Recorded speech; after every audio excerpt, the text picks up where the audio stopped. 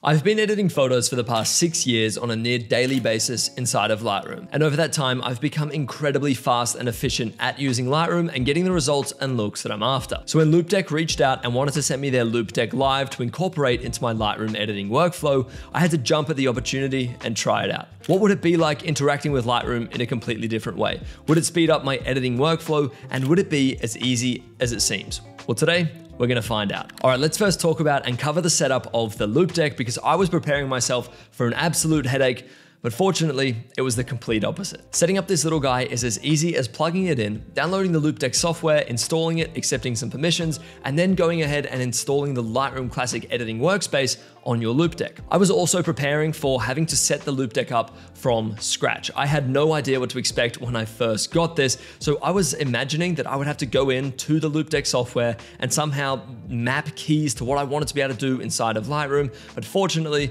Loupedeck's already done all the hard work here. Now I did make two changes to the Loupedeck setup. One of those was adding my own Lightroom presets onto the third page of the Lightroom Classic workspace. This is such a cool feature, being able to just put your presets literally on the touch of a few buttons right here. It makes things so easy, especially when applying presets, so that was a non-negotiable. I then also added a little zoom functionality to the library tab, just to be able to zoom in and out and get a little bit more clarity of what I have and haven't selected, and if things are or aren't in focus. Now, getting into the Lightroom side of things, there is a steep learning curve when it comes to using the Loupedeck. I'll be honest, it took me probably about a good 30 minutes to start really getting a good grasp on how to use this guy, and it made me feel like a complete Lightroom beginner again. It felt like I had just started photo editing. See, the thing is, you don't know where any of the settings are when you first pull the Loupedeck out of the box. How do you navigate Lightroom? How do you get to the Develop tab? How do you adjust your colors? How do you add masks? The whole lot, the list goes on. So it's gonna take maybe 30 minutes, an hour, an hour and a half to really get kind of familiar with how this UI works, but once you're familiar, things get pretty good from there. As it stands, I've got about an hour to an hour and a half of editing experience under my belt with the Loupedeck, So we're about to dive into Lightroom Classic, edit three photos from scratch, and see just how good you can get at editing with the Loupedeck in a short period of time. So without further ado, Let's dive in. Alrighty, so here we are inside of Lightroom Classic and I've got a shoot loaded up from the other week when I was out in the desert with my good friend Josh. And what we're gonna do here is go through all of these photos, we're gonna make our selects and then we're gonna dive into the edit. So first things first, I'm gonna dive into this shot right here, which I'm just gonna spin this little dial right here this is my custom mapped zoom function. And now I can just scroll through all of these photos. I wanna be able to see the photos as they are in the bigger screen, purely so I can see what's in focus, what's out of focus, focus and you know get an overall better sense of what I'm actually selecting. When I want to make selects, all I've got to do is press this down. It's going to set the rating to three. And if I wanted to make any other ratings, I'm just going to be able to do it on the screen here. So I actually like this photo, even though we just rated it. I much prefer it over the vertical one. So this in horizontal and landscape looks much nicer. And now we're just going to go through these. This shot here would definitely be nicer with a subject in it. This shot here, oh, I definitely like the foreground, but it might be a little too much. Here we go. This is exactly what we were after. This is Josh looking, oh, actually, yeah. So we've got one here, Josh looking at the camera. We've got one here that looks quite candid and natural. And this one, Josh might be looking a little too far away. So let's go back to this one. I'm gonna rate that one. I've already got my shot here. Yeah, definitely pick the best one there. Oh, and now I've got Josh in this beautiful little cave, I guess, hole in the wall, however you'd like to however you'd like to say. I'm not sure if I'm a huge fan of the one with the camera up to the face, but it's definitely the best composed. Otherwise, he's too over to the left. So we're gonna have to take one of these ones. Let's go one of the darker ones right here. I'm happy with that. And then we're gonna scroll over here. I definitely am not a huge fan of this. While this is a really sick location, uh, the light just hitting Josh straight in the face isn't too flattering. As you can see, he's squinting quite hard there. Okay, so we've got these three photos right here. We've got this one selected. We've also got this one here and then we've also got our first one. And just before we dive into the edit, I'm just gonna take my mouse here and turn the filters on to make sure we're only working with our rated photos. Just a little bit of an easier way to keep track of the photos that we've got to edit. And now what I'm gonna do is I'm gonna move over to page number two. That's gonna send us over to the develop tab. And now the fun begins. Okay, so the first thing I wanna do for this photo here is increase the exposure. I'm also going to increase our shadows to make sure we're not losing any detail in the shadows whatsoever. And then we're just going to slightly increase the temperature just a little bit. I know we're already in the desert and this was shot at golden hour, so we've definitely got a lot of warm tones in our shot, but I do just want to sell that warm morning feel a little bit more. I'm also going to come here and I'm going to increase our contrast quite significantly. This is going to add a lot of depth to our shot and make sure that we are seeing the dark parts to be dark and the light parts to be light. And I'm actually quite happy with how that is looking straight out the gate. I don't think I need to touch anything in regards to our highlights. If we darken those, it just becomes a little, maybe, maybe we'll darken them just a touch. And with that said, I think that's pretty much our basic tab done and done. I'm now gonna move over to our page number three here. And this is actually where I've set my presets and you can do this on your Loupedeck as well. So for example, if I just tap into these presets here, we can go through them. These are my Watzac portrait presets. You can find them in the master collection. And as you can see, we could just pump through all of these right here. They all look quite good, even though this is a landscape shot. However, I would say number one probably sells that warmer tone a little bit nicer than any of the others. So for now, I'm gonna leave it at number one. So that's pretty much all I'm gonna be doing on the portrait on the presets page, the portrait preset page, goodness me. And now we're gonna dive into page number four. Now this, of course, is where we're gonna be diving into all of the colors. So first things first, let's open up the red and orange hue dials. And what we're gonna do is just increase our orange saturation a little bit. And then we're gonna make sure our reds here are a little bit more over to the orange side. This might be magenta in the middle of the image right here that's throwing me off a little bit. So we might also open the purple and magentas up and then we're going to take our magentas here and make sure they're on the red side of town, but we're also going to desaturate them like crazy. Same thing with the purples right here. We're going to desaturate those and now that area of the image is looking a lot cleaner. Yes, definitely much nicer like this. I'm gonna open up the blues here and we are going to saturate them just a little bit more as I do like the blues in the sky. We're gonna do the same thing with the aqua as they are very, very neighboring colors, if you will, and things are starting to look great. I would say, however, I do want to increase the temperature just a touch not too much, but definitely putting a little bit of warmth back into the shot isn't gonna hurt. So that was just done in page number two. And now we're back over to page number four. I'm going to come into here now and we're going to open the uh, split toning dials. This is where we're going to be able to put either warm or cool tones in the highlights or the shadows. What I can do here is I can choose the tone that I want to set my highlights to. So for now, we might actually look at setting those to the blue side as that might look quite nice. We can also increase the saturation here just a touch. And then the shadows are also going to be on the blue side ever so slightly, even though I said before, oh, this is the balance. Even though I said that this is gonna be a little bit of a warmer shot, I still want a nice contrast contrasting color in there. And I would say things are looking good. We're gonna come to the yellow dials right here, the yellow saturation slider. We're gonna move this over to our orange side a little bit. We're gonna desaturate it. And we're also gonna drop the luminance ever so slightly.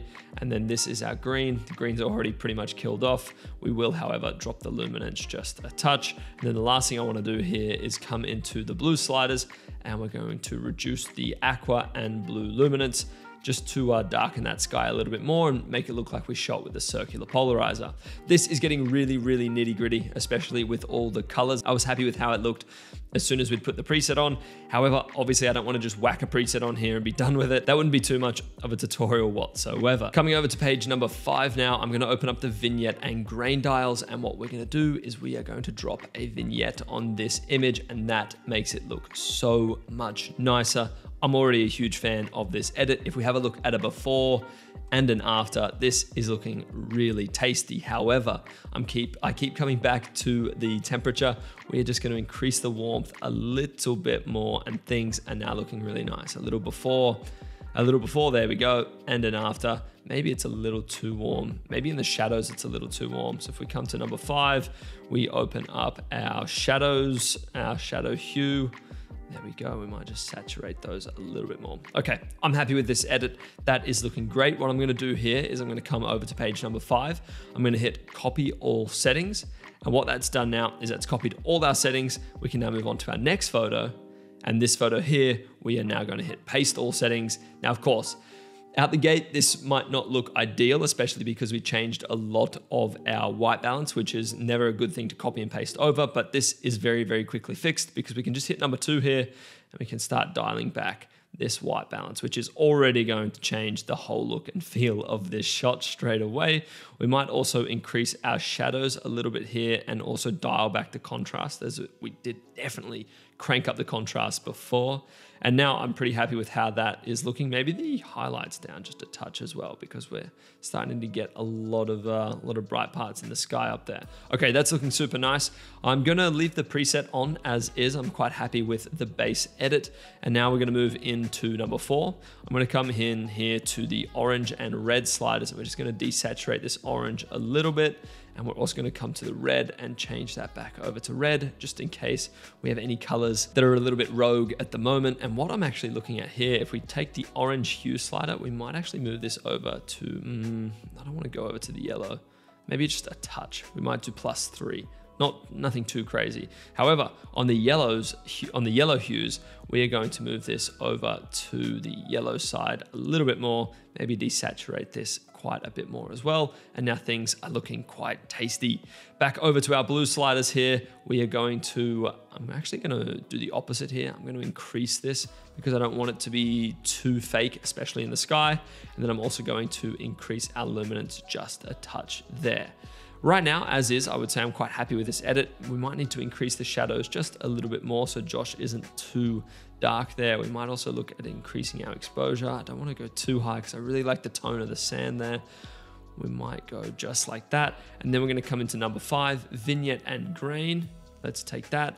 And then once this is open, we can just dial in this vignette a little bit nicer. And now we've gone from this to this, which is looking super nice once again. I'm gonna copy all settings and then we're gonna move on to the next photo by pressing seven. And here we have Josh in the little cave. I'm gonna paste the settings, okay? Pretty interesting out the gate. We're gonna hit number two and now we're just gonna increase our temperature just a little bit, definitely looking nice. And then just increasing that temperature until Josh's skin looks good is pretty much where I'm gonna be happy with right here. So we might dial it back a touch.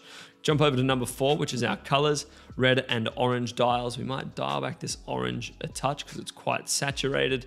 And we're also going to dial back our yellow saturation, even though it's pretty much all killed off. We might also dial back our yellow luminance to quieten down a little bit of area on this wall right here that's uh, registering as yellow. So I'm quite happy with that. We're then going to come into the blues here. I'm going to increase the luminance because I don't want it to look too fake. And now we might just dial in a little bit more of a vignette. So we come over to here, vignette, I'm just going to quieten it down this a little bit, not too much. Let's have a look at the before and after, ooh, that's looking nice. I'm happy with this shot, that's for sure. I would say at this point, things are looking quite good. Now, the one thing that the Loupedeck does, I wouldn't say struggle with because it definitely wasn't built for it, is masking. So let's say, for example, we are working with this shot right here, okay? Let's say we wanted to select the sky. Well, I could add a gradient filter and then press sky and that, of course, is just going to use AI. It'll select the sky. Now from here, we could, I guess we could just kind of maybe adjust the exposure a little bit, maybe make it a little darker. No, definitely not. Maybe a touch brighter actually looks not too bad there. And then, for example, if we wanted to, we could come back to number five. I could press the gradient again, and then I could, for example, hit subject. Hopefully that picks Josh up. Oh, it's good. Now it's just got a little bit of the rock here. So what I'm gonna do is I'm gonna quickly use the uh, mouse here. I'm hit brush, we're gonna hit invert, and we're just gonna brush this away. As this is definitely something that the Loupedeck can't do um, because obviously we don't have a screen or a mouse or a touchpad or anything that we could kind of make specific, very dialed in selections. Uh, and then all I want to do here is reduce the contrast on Josh. And then we also might just a touch increase his exposure. Nothing too much, maybe just dropping the contrast. Looks good there. Okay, I'm happy with that. But as you can see, for example, if I wanted to create a radial mask like this, I just can't do that on the Loupedeck. So I know this is an amazing tool and it's not trying to replace the mouse and keyboard. There are obviously some things you have to still do with the mouse and keyboard. However, this is a really cool tool to be able to interact differently with Lightroom and just have a completely different experience. Now, the last thing I wanna do here is run through the crop tool because this is something that I definitely didn't think I'd be able to do on the Loupedeck. So if we open up page number two, and I'm gonna hit my crop tool right here, I now can finally adjust, if you will, um, the crop. So for example, we got rotate here. I'm gonna try and get that back to zero or as close as I can. Maybe we just double click there. And then I can also move in and out. So maybe we wanted less of the sky. Okay, no problem. And maybe we want to move Josh a little lower on the frame there. And since Josh is already in the middle, we don't need to go left or right. I might also look at cropping this for Instagram. So we're gonna hit four by five there. Oh, now we definitely need to move Josh a little bit higher on the frame. Okay, things are looking good. I'm pretty happy with that. So now we can exit the crop tool, happy with that crop. Let's say, for example, we wanted to crop this image here. I'm gonna open up my crop tool once again. I'm going to just crop in, oh, that's the rotate once again. I'm just gonna crop in a little bit here, just like that. And then, for example, I can move left and right after pressing this dial in. So before it was up and down, now if you press it in, it goes to left and right. We're just gonna off center Josh's head a little bit there because he's got the camera uh, in front of him. So we just want him as the subject to completely be in the middle there.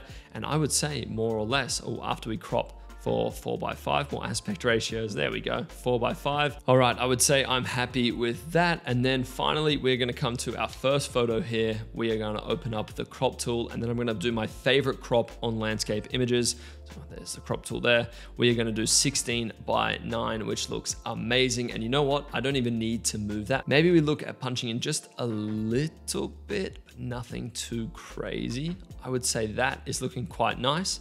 And there we go. That is this photo edited from this to this. We've got this photo of Josh here edited from this to this. And then our final shot here, we've got this to this, and that was all done on the Loupedeck. All right, guys, that is gonna wrap up today's video. If you enjoyed, let me know down in the comments below. If you're new around here, a subscribe would mean the world. Once more, thank you very much, Loupedeck, for sponsoring today's video, and I'll catch you in the next one. Peace.